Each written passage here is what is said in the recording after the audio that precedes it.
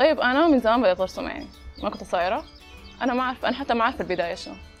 أي ورقة بلقاها برسم فيها حيطة بلقاها برسم فيها. موضوع بعيد شديد يعني. أه بفضل استخدم الفرشة في رسم أكتر من الرصاص خصوصا بعد ما دخلت معمار لأنه شغلنا أغلبه رصاص ففضلت الفرشة لأنها حاجة سبيشال تغيير من شغل الجامعة يعني. أمم، أكتر حاجة بركز على الطبيعة في شغلي. أه أي صورة طبيعية بتعجبني أو مجموعة صور بدمجها مع بعض يعني. والله أنا أصلا ما قاعد أشارك في معرض نهائي. فأول معرض اشتركت فيه وكنت مبسوطة شديد. كان معرض آه، كان جاليرينا فكانت عرفت يا دوب على فنانين كتار كلهم نفس الاهتمام كلنا تكلمنا عن الرسم كانت حاجة ممتعة شديدة يعني. فاليوم دي كنت حاسة بإنجاز إنه رسمتي كانت كويسة شديد. وكذا يعني استمتعت شديد يومي. طيب أنا لما أرسم بجد لما أرسم وأخلص الرسمة بحس إني فرغت في أي حاجة. وحاجة بجد أثر على نفسيتي شديد. يعني أنا أكون متضايقة أرسم دي حاجة أنا عارفاها. فبس يعني مستحيل أتخلى عنها لأي سبب من الأسباب ما كان سبب الشيء.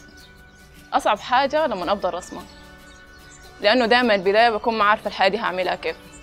بكون خايفة شديد ال- مثلا ال- الصفقة دي هعملها كيف الحاجة دي هعملها كيف. كده لما أبدأ يشتغل الحاجة مهما كانت تتعمل أنا عارفة إنها تتعمل لكن بكون خايفة برضه في النهاية.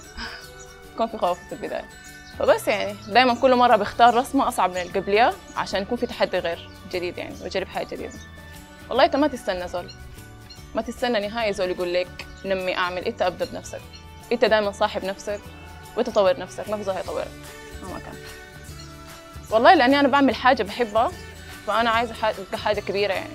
عايزة أكون الأحسن في الأحسن. نفسي أعمل معرض فرعي دي الحاجة اللي بتخليني إني ما أتخلص من رسماتي لأنه ما قد أنتج كثير يعني يا دوب ممكن في السنة أطلع رسمة رسمتين بالكثير من اللوحات يعني.